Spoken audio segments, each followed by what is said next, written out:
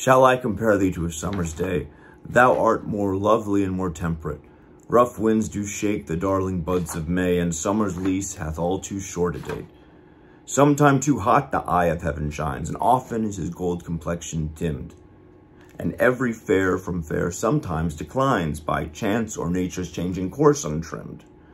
But thy eternal summer shall not fade, nor lose possession of that fair thou owest, nor shall death brag thou wanderest in his shade, when in eternal lines to time thou growest. So long as men can breathe or eyes can see, so long lives this, and this gives life to thee.